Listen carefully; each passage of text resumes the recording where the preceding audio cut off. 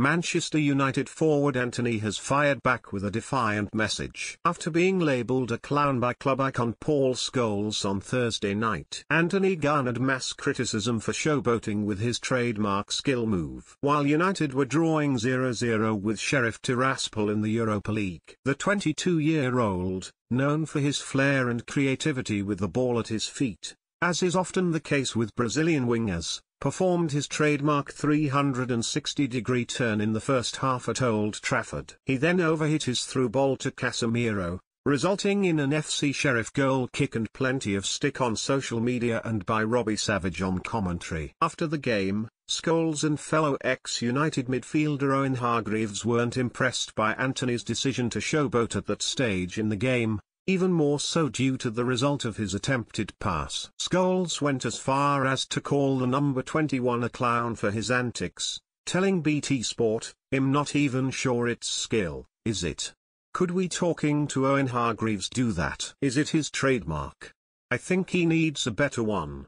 He needs to find a more entertaining way. I don't think this country likes to see that. Does any country, even Brazil?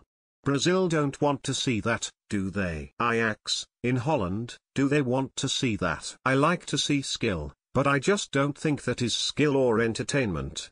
That is just being a clown, isn't it? On Friday, Antony responded to his critics with a battling Instagram post, insisting he won't change from being the player who helped him reach one of the world's biggest clubs. We're known for our art, and I won't stop doing what brought me to where I am.